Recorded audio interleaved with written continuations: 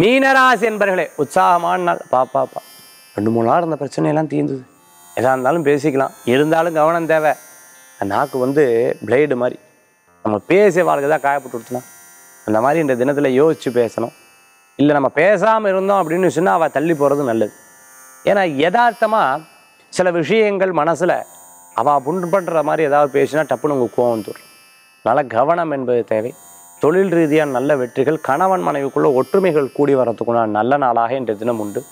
சாயந்தரம் பார்த்துட்டே அப்படின்னு சொன்னால் எல்லா விஷயங்களும் முக்கியமானதாக இருந்ததுன்னா அதை தள்ளி வச்சுக்கிறது நல்லது. காலை வேலைகளில் அனுகூல்யமாக இருக்கும் மத்தியான வேலைகளில் அனுகூல்யமாக இருக்கும். தொழில் ரீதியாக நீங்கள் உரையாடும் பொழுது தொழில் விஷயங்கள் ரகசியங்கள் சொல்கிறத அறவே தவிர்த்துக்கிறது நல்லது. இன்றைய தினத்துக்குண்டான அதிருஷ்டமான எண் ஐந்து.